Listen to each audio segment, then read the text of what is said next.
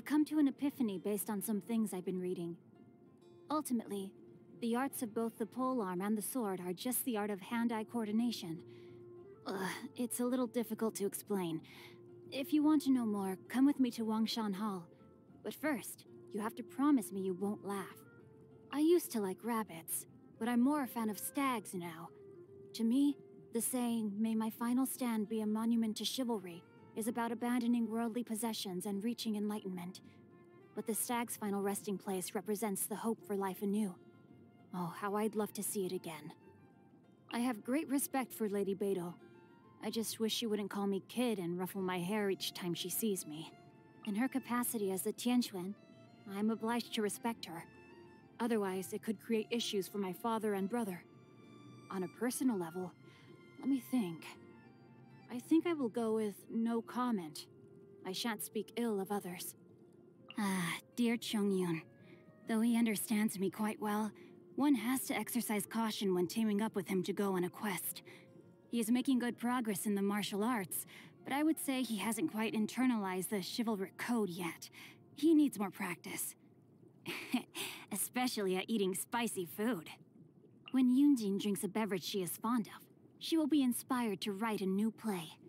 So, I keep a jar of tea leaves under my bed at all times, ready to deliver to her on the day that her inspiration dries up. This way, I shall never run out of heroic tales to listen to. Ah, yes, the young lady who is now the master of the Wangsheng funeral parlor. If you're asking what I think about her as a person, well, there are all sorts of rumors about the way she works. But I think if you really want to understand someone, you need to find out what they are really after. I've always thought there is more to Qiqi than meets the eye. But it's impossible to have a conversation with her when Baizhu's around. Hmm. We could wait till Baizhu makes a home call to one of his other patients and corner her. When you first spot Xiangling out and about, the first thing you should do is check the look on her face. Especially when she's just coming back from collecting new ingredients. The more excited she looks, the more dangerous it is to approach. Because if she sees you, she'll force you to taste test her latest concoction. I usually get Chongyun to handle these situations. Where does Xinyan perform? Anywhere from Chihu Rock to Yujing Terrace. No spot is untouched by her disruptive presence. A quiet day when I can curl up with a good book is a rare treasure indeed. My father and brother entertained that gentleman as a guest once. From the way they were acting, he must be a very high-profile figure indeed. I also heard that he directs funerals for the Adepti, so he must surely have great depth to his character. We should do some digging and see what we can find out about him. Your schedule is free today? Wonderful. I am ready to leave whenever you are. My book? Oh, never mind that. I can always pick up where I left off when I get back. But those in distress who need our assistance cannot afford to wait.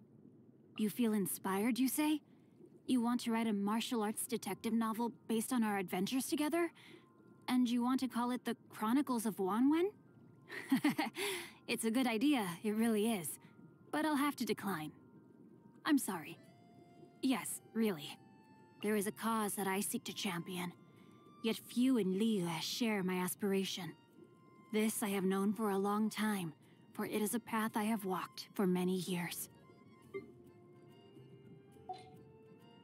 you